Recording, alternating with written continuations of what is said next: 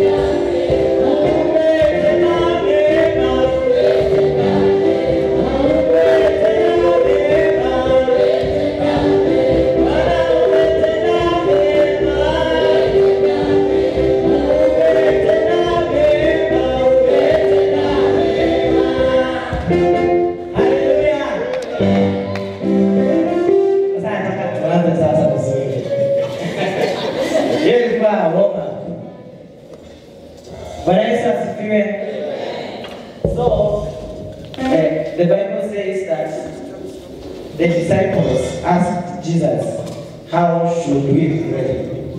Na Yesu aliwaambia this is how you should pray. Our Father who art in heaven, sisi wote, hallowed be thy name, thy kingdom come, thy will be done on earth as it is in heaven. Give us this day our daily bread, and forgive us our sins, as we